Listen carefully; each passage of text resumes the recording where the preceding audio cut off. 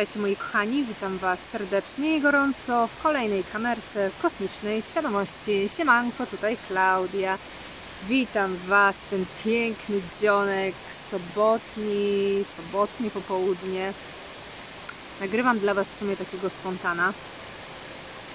Nie wiem kiedy ostatnio nagrywałam, ale nie tak dawno temu.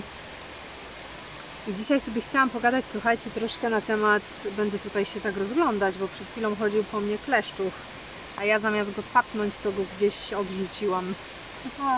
No, e, dzisiaj sobie troszkę pogadam na temat pseudoduchowości, w sumie w której siedziałam mm, i jak widzę mój rozwój duchowy sprzed powiedzmy 3-4 lat, a jaki jest teraz, czy tam sprzed 5 Także o tym będę gadać i na pewno coś jeszcze mi wpadnie innego do głowy, jak to wiadomo, ze mną bywa.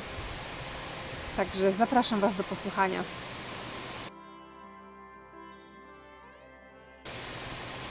Więc moi piękni, oczywiście na wstępie chciałam Wam serdecznie podziękować za wszystkie komentarze, za wszystkie subskrypcje, za wszystkie lajki, za to, że jesteście i też mam do Was prośbę wiadomo, jeżeli się coś nie podoba, to nie lajkujemy, ale jak Wam się spodoba to, co mówię, czy jakoś chcecie wesprzeć mój kosmos, to dajcie łapkę w górę, napiszcie jakiś komentarz.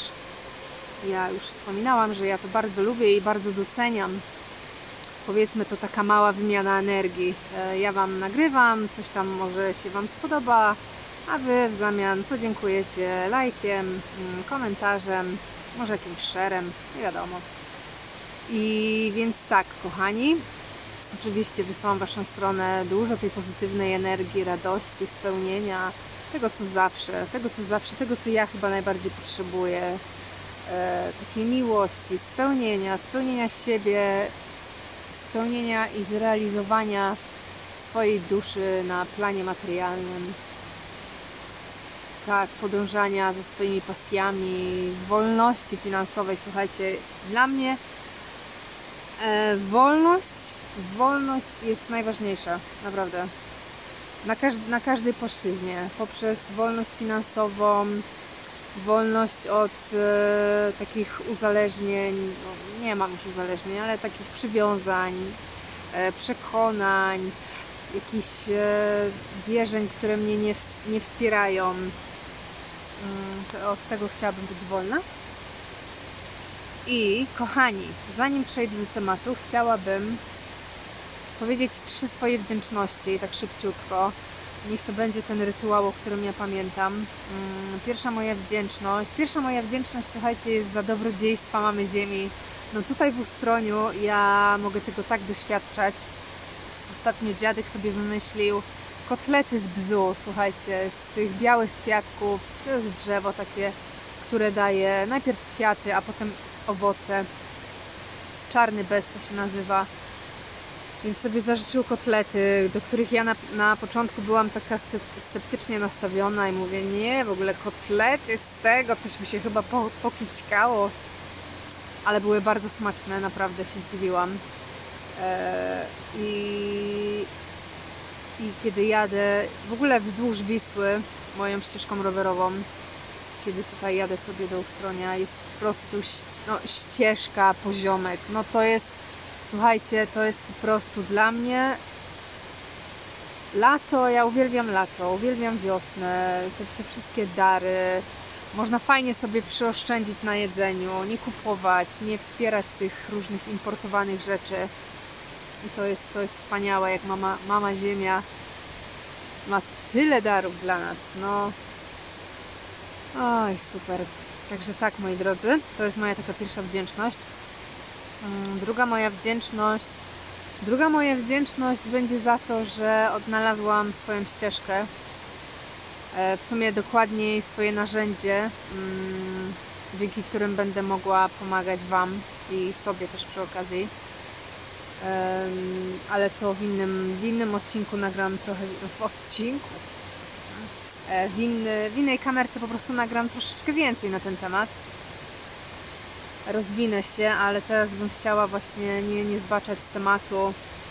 To to moja druga wdzięczność, a trzecia moja wdzięczność, trzecia moja wdzięczność za wiosnę i za lato i za w ogóle cztery pory roku. Jak bardzo kocham wiosnę i lato i lubię jesień i lubię zimę. To tak jestem bardzo wdzięczna, że mogę doświadczać tych wszystkich czterech pór roku. Fajne to jest. No, także tak moi drodzy. Więc nie ma tu żadnego kluszczucha, nikt po mnie nie chodzi. Aha. Więc e, przechodząc do tematu, jak tak sobie myślę o, o tej pseudo, pseudoduchowości, o tym, czym tak naprawdę jest duchowość, czym dla mnie kiedyś była duchowość i czym dla mnie jest teraz duchowość. I tak jak sobie przypomnę, gdzieś 4 lata temu, tak myślę, że to było 4 lata temu, 4-5 lat temu, gdzie ja no pełno robaczków po mnie chodzi, no ale mróweczki są ok. Gdzie ja byłam w tym takim tej, tym takim stanie wysokich wibracji. I to jest super, to jest naprawdę fajne, w tym stanie takiego pozytywizmu, e, w takim nastawieniu, w każdym w tym nastawieniu do, do życia, jako do tego, że jest ono piękne, dobre, że w ogóle mm, w ogóle wszystko trzeba akceptować i jakby samo to wystarczy do tego, żeby sobie pomóc. I, I, na tamten moment to było, no nie wiem, może, może pamiętacie ci, co są ze mną od dawna. Biedroneczka na mnie zefrunęła. No co, malutka. I... Ale ciepło, słuchajcie, fajnie. Gdzie ja jakby na tamten moment wysokie wibracje, to to było w ogóle wszystko, to, trzeba było się tylko na tym skupiać. I jakby nie można było się złościć, nie można było się irytować, no bo trzeba przecież wszystko akceptować, tak? Nie można było się smucić, no bo smutek jest zły, e, po co się smucić, trzeba być na wysokich wibracjach, tylko one gdzieś tam pomogą. No i jak tak sobie myślę, to większość moich znajomych, no praktycznie każdy, każda jedna osoba była w tym stanie takim, była w tym stanie takich wysokich wibracji i ja, mój, ten mój stan trwał gdzieś, ja myślę, z rok czasu. Takich naprawdę, gdzie o, tylko miłość, miłość jest najważniejsza i w ogóle e, kocham, kocham życie, życie kocham jej. To było fajne, słuchajcie, to było fajne. Ale to nie rozwiązało piękny ćwierkarz ale to nie rozwiązało wszystkich moich problemów. Jakby to nie sprawiło, że moje przekonania dotyczące na przykład życia się zmieniły. No okej, okay, dobra.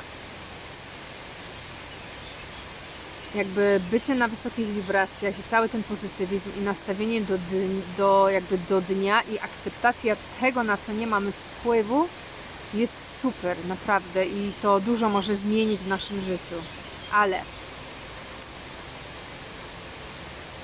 wszystkie te emocje właśnie smutku, złości, co do mnie przychodziło, ja to okej, okay, nie, tego nie ma w ogóle, tego ja, ja się nie złoszczę, nie? Ja się nie mogę złościć. Ja muszę być tylko na wysokich wibracjach. To to było takie zamiatanie pod dywan i coraz więcej ja zamiatałam, zamiatałam, aż w końcu moja dusza powiedziała stop, no to teraz bierzemy się za integrowanie, za działanie, za odczuwanie, jakby za branie odpowiedzialności. Nie, no dziwnie to brzmi. Jakby zaglądanie w siebie i, i dzięki uważności tego, jak ja się czuję, co mnie triggeruje, mm, co mnie złości, co mnie smuci, i dzięki temu ja właśnie mogę jakby zintegrować wszystko to w sobie, jakby mogę dostrzec, co mnie boli, co, co mnie smuci. I też tak sobie właśnie myślę, mm, że te całe wibracje, no bo każdy tego doświadczył, naprawdę, z moich znajomych każdy doświadczył tych, tych wysokich wibracji i to był taki przedsmak tego, co my możemy mieć, co my może, jaki jest rezultat tego, że my się poczyścimy, że my się zintegrujemy, że my uzdrowimy te wszystkie nasze traumy, że my jakby pozbędziemy się całej tej energii, która gdzieś w nas tkwi. I, to było takie właśnie, zobacz jak możesz się czuć, bo ja się wtedy, słuchajcie, ja się czułam wspaniale, naprawdę. Na tych wysokich wibracjach ja to wszystko czułam, ja miałam sobie tą miłość, tą akceptację. I, I to działało, naprawdę to działało przez jakiś czas. No bo do tego, no nie oszukujmy się, nie, nie będę oszukiwać siebie, że ja oprócz tego, że gdzieś tam byłam na tych wysokich wibracjach, ja dużo czytałam, dużo praktykowałam, ja ćwiczyłam jogę, ja medytowałam, ja mantrowałam. Jakby ja szukałam ciągle jakichś narzędzi do tego, żeby móc sobie pomóc. I prawda jest taka, że wszystkie te narzędzia typu yoga, na przykład yoga kundalini, ona działa, tak, ona działa, jeżeli ty ją kontynuujesz. Bo co z tego, że ja się oczyszczę z energii, tak, bo yoga, yoga kundalini jest bardzo potężna, ona przeczyści kanały, naprawdę, ona przeczyści kanały, jakby pozbędzie się gdzieś tam zatorów, pozbędzie się tej energii, która gdzieś tam jakby w nas siedzi. My odczujemy tą lekkość, bo ja słuchajcie, po, po jodze ja czułam lekkość, ja się czułam świetnie, ale w momencie, kiedy przestałam ćwiczyć, jakby wszystkie te przekonania, które ja miałam w sobie, tak, te moje traumy z dzieciństwa, te moje niedowartościowanie, te moje, że ja nie jestem ważna, że nie jestem wystarczająco dobra, jakby to dalej we mnie jest, tak? Bo ja nie weszłam do przyczyny, dlaczego na przykład ja się wstydziłam wcześniej, tak? Jakby skąd to się wzięło, gdzie są korzenie tego wstydu. Wiecie o co chodzi?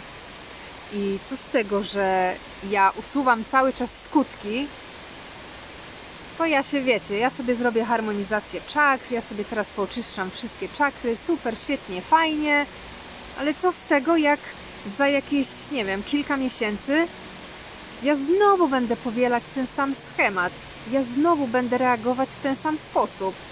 I, i takie no jakby uzmysłowienie sobie, że te wszystkie narzędzia, one są dobre tylko na chwilę.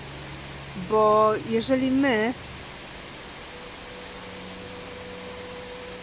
jeżeli my nie zaczniemy integrować, nie zaczniemy słuchać siebie, zauważać siebie i zauważać te swoje emocje, co nas triggeruje, to my tak możemy, słuchajcie, do końca życia. Okej, okay, to ja sobie teraz zrobię medytację na uwolnienie czegoś tam. I nawet tak sobie myślałam o... Dzisiaj rozmawiałam właśnie z, z koleżanką na temat kodu emocji. To się teraz stało takie bardzo modne, że no jakby o, jakby to działa, tak? Działa, ale to działa tylko na chwilę. Bo co z tego, że ja usunę sobie jakąś emocję, która się zablokowała mi w ciele, dajmy na to wstyd czy złość, mam zablokowaną złość, gdzieś osiada mi się to na wątrobie i moja wątroba nie domaga. I co z tego, że ja sobie oczyszczę wszystko, super, ja się pięknie, ładnie poczuję, nie będzie lżej, przez kilka dni ja będę funkcjonować super, ładnie, a potem zdarzy się jakaś sytuacja, która znowu sprawi, że ja się gdzieś zdenerwuję. No i co się wtedy stanie? No i jakby no, no znowu gdzieś tam oberwie się tej wątrobie, znowu gdzieś tam się jakby mm, zablokuje coś tam, jakaś energia, tak? No bo ja się znowu złoszczę i potem na drugi dzień ja się znowu na przykład będę złościć, nie? I, I znowu, i to jest takie błędne koło, tak? Takie koło, które się tylko zamyka, my się tutaj uzdrowimy, super, a potem znowu i znowu i znowu. I, I to jest właśnie, ale to tak na temat tej, to się trochę rozwinęłam, słuchajcie. A, mam wrażenie, że wszystko po mnie chodzi teraz. Ty kleszczuchu! No, em, właśnie, ale to tak, ta, taka pseudoduchowość to jest tylko to skupianie się na takich pozytywach i takim, wiecie, zakopywaniu wszystkiego, co złe pod dywan, wszystkiego, co bolesne zakopywanie, nie, zamiatanie pod dywan i jakby w ogóle nie zwracania na to uwagi, jakby w ogóle nie, niezauważania tego, że tego nie ma. Ja się nie złoszczę, wiecie, ojej, ja się nie mogę złościć, bo przecież to jest nieduchowe. To jest nieduchowe, że ja teraz będę się złościć, albo jakąś fakena pokażę. No. I... Ale to jest, wiecie co, to jest wszystko fajne, bo dzięki temu naszemu wzrostowi, ja mówię tutaj o sobie, dzięki temu, że jakby no ja już, słuchajcie, w październiku będzie 4 lata, jak ja nagrywam e, filmiki. 4 lata, słuchajcie. I ja tam widzę, jaki ja zrobiłam progres, co się u mnie działo, jakby gdzieś tam przez moment były psychodeliki mm, i to było fajne, bo, bo na tamten moment jakby dużo mi pootwierało też psychodeliki, to jest w sumie też super narzędzie do pracy z podświadomością, do pracy z sobą i, i pomogło mi dużo, czy nawet, no ja nie mówię, no słuchajcie, kundalini yoga też mi dużo pomogła, bo ja dzięki temu gdzieś tam zrobiłam reiki, e, gdzieś tam te wszystkie narzędzia gdyby, tak, dzięki tym wszystkim narzędziom, a! Jezu, sorry. Boże. No, dzięki tym wszystkim narzędziom ja jestem w tym miejscu, w którym jestem teraz. Jestem bardzo wdzięczna za to wszystko, za tę pracę, za te mantry, które mantrowałam, słuchajcie, za te medytacje, za tą jogę. Po prostu jestem za wszystko wdzięczna, za tą całą wiedzę, którą wchłonęłam, e, za te wszystkie filmy, wykłady. No po prostu jestem wdzięczna, ale też taka prawda, że to w sumie moja praca jest. Moja praca, mój, mój wkład w to, moje jakieś mm, poświęcenia, rezygnacja z wielu rzeczy na rzecz czegoś, czegoś, co ma większą wartość dla mnie. I... A, Boże! Przewrażliwiona będę teraz! Ale nic. I, i tak, i, i, i to jest fajne, bo ja bardzo ewoluowałam, gdzie właśnie doszłam do momentu, zresztą jak wiecie, e, czego ja już nie robiłam, za kim ja już nie podążałam i miałam ciągle takie swoje zajawki. I teraz to, wow, super, ja będę to robić, ja będę w ogóle e, jakby za tym podążać. No i to też było dobre na, na jakiś etap mojego życia. Ale teraz jest czas, słuchajcie, teraz jest czas, mm, bo wspominałam już o tym, że znalazłam swoją ścieżkę, mm, swoje narzędzie które jest potężne dla mnie i w sumie dla wszystkich tych, którzy zrobili ze mną ten kurs. To tak na krótce powiem, mm, jaki zrobiłam kurs. Albo nie, nie będę Wam mówić. Nagram kolejny filmik, to będzie taki po prostu filmik stricte na temat właśnie tego mojego kursu, który zrobiłam i trochę więcej też powiem no, trochę więcej powiem o wszystkim. no. I, I co? Ile już gadam? 18 minut, króciutko, super, cieszę się. Także naprawdę jestem wdzięczna za ten cały swój proces. I powiedzmy od tych trzech lat, kiedy moja dusza powiedziała dość tych wysokich wibracji, to jest wszystko super, i nie zapomin jakby nie, nie zapominajmy, bo to w ogóle jest jaka kreacja na, na zapomnienie. Jakby pamiętajmy o tym, że pomimo tych wszystkich tru trudnych chwil, które doświadczamy, fajnie jest znaleźć to uczucie w sobie tej wdzięczności, bo to pomaga.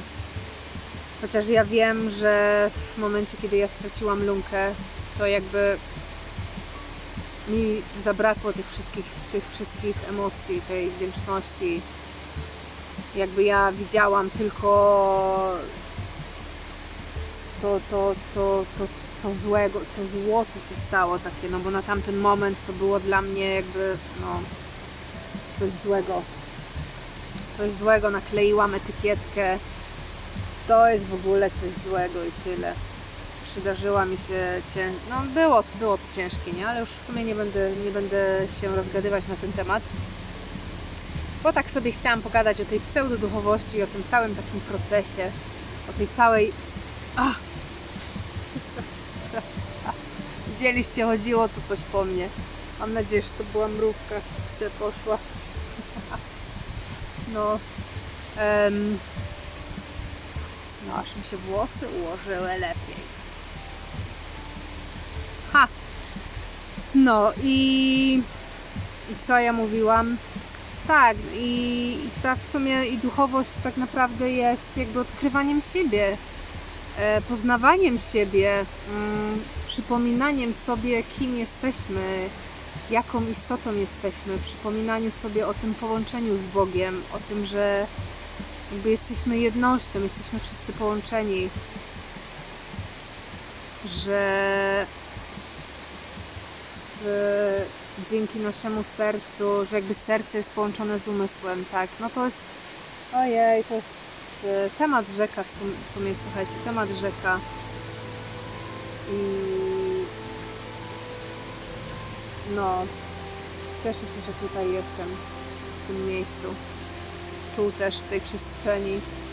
A jak tutaj przyszłam, to siedziała tutaj sobie taka parka i ja tak wiecie, przyszłam i mówię, kurde, zajęli mi miejscówę, mówię, moją miejscówę, wiecie, to jest już moja miejscowa.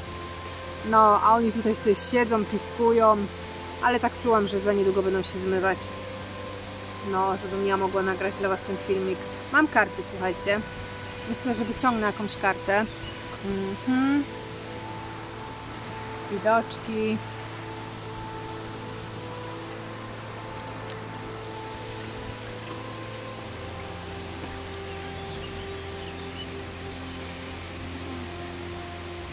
Karty lóżka. Dobra. Jaką kartę na teraz?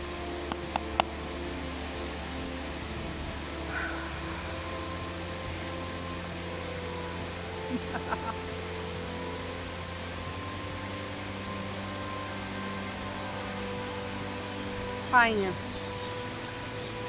Podoba mi się tutaj naprawdę. Podoba mi się w Ustroniu. Czułam to miejsce, wiecie. Już chyba o tym mówiłam. Ale zobaczymy co będzie. I wiecie co się pojawiło w moim życiu? Coś, co nad czym już od dawna pracowałam. Mm, co mnie gdzieś tam blokowało. I czuję, że w końcu nadszedł ten moment takiej akceptacji tego, takiej prawdziwej akceptacji i takim odpuszczeniu kontroli tego, co się dzieje, jak jest i co będzie. Bo ja miałam mm, tendencję do analizowania i wybiegania w przyszłość, zastanawiania się w ogóle, co ja powinnam zrobić, gdzie ja powinnam mieszkać, gdzie ja powinnam żyć, jaką powinnam pracę wykonywać. I tak wiecie, i umysł po prostu wałkował, wałkował i analizował i, i ciągle była ta kontrola i było mi w ogóle no jakby ciężko odpuścić, ciężko jakby pomimo tego, że no jakby poczekajcie, spauzuję, bo coś czuję, że zaraz mi się może kamerka wyłączyć. Yy, no tutaj ktoś przyszedł i po, pomimo tego, że ja gdzieś tam miałam w sobie powiedzmy to zaufanie, ja nie wiem już słuchajcie gdzie ja skończyłam, to jednak coś mnie blokowało, tak? Blokowało mnie właśnie te moje przekonania, to jak ja świat postrzegam, mm, to jak zostałam ukształtowana i, i to jakby nie pozwala mi tak do końca, no jakby opuścić tej kontroli. Zresztą kontrola to też jest, splot słoneczny jest odpowiedzialny za kontrolę, więc to swoją drogą coś tam pewnie jest nie halo. I czekajcie, ja tutaj szybko wyciągnę tą kartę.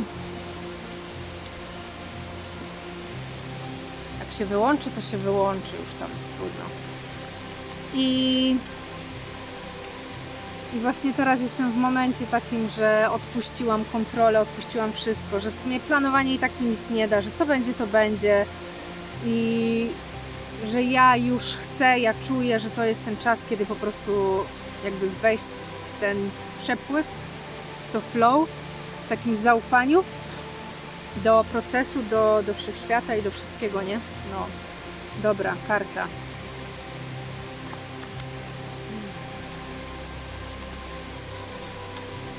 A w ogóle też ostatnia jaka mi o, wypadła. Rozkwit. A, no pięknie. Ja się właśnie tak czuję, że ja rozkwitam. No. Ostatnio właśnie wypadła mi karta, słuchajcie, jak przez większość czasu ja przez cały czas mm, widziałam, znaczy karty, które mi wypadały, to była karta typu, że ja zasiewam ziarenko, gdzieś tam wkładam do ziemi, wiecie, zasiewanie, planowanie, jakby szukanie, ciągle coś tam, ja coś ciągle zasiewałam. Ostatnio jak sobie stawiałam tarota, to karta, to było pytanie na temat mm, mojej wewnętrznej rzeczywistości na teraz. No i piękna karta mi się pojawiła. Właśnie malutkiego drzewka, słuchajcie, malutkie drzewko, które już wyrosło, które ma korzenie. Jejku, to było piękne, ono ma korzenie. On już jest drzewo, już ma kształt drzewa, nie ma jeszcze owoców, ale już słuchajcie, już wyrosło i ja to tak poczułam. A jeszcze nad, nad, nad tą postać, nad tym drzewkiem stoi postać męska, to nieważne, ale stoi postać męska. W sumie można by spojrzeć na to, że jakby energia męska, działanie, tak, organizacja, planowanie, planowanie już nie, ale działanie, materializacja i taka ręka właśnie i tutaj taki promień światła nad tym drzewkiem i ja to tak poczułam, słuchajcie, że to jest właśnie moja rzeczywistość, już to, to nie jest już planowanie.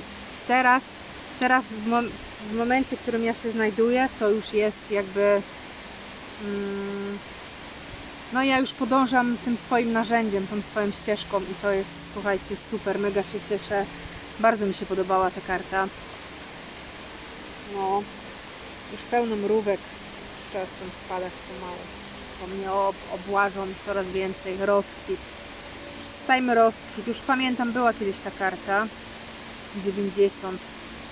Nobenta po hiszpańsku. 90. Zen chce, byś żył. Żył w dostatku, totalności, żył intensywnie, nie na minimum, jak chce chrześcijaństwo, lecz na maksimum, bez reszty. Twoje życie powinno sięgnąć do innych. Twoja szczęśliwość, błogość czy ekstaza nie mogą trwać w Tobie jak nasienie. Właśnie. Powinny rozwijać się jak kwiat i rozprzestrzenić swój zapach na wszystkich, bez wyjątku, nie tylko na przyjaciół, lecz także na nieznajomych.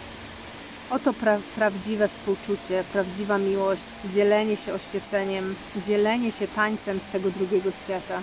Pięknie. Dama tęcz jest jak niezwykła roślina, która sięgnęła rozkwitu i pełni barw. Jest bardzo seksualna, pełna życia i możliwości. Stryka palcami w rytm muzyki miłości, a jej zodiakalny naszyjnik jest ułożony tak, że Wenus leży na jej sercu.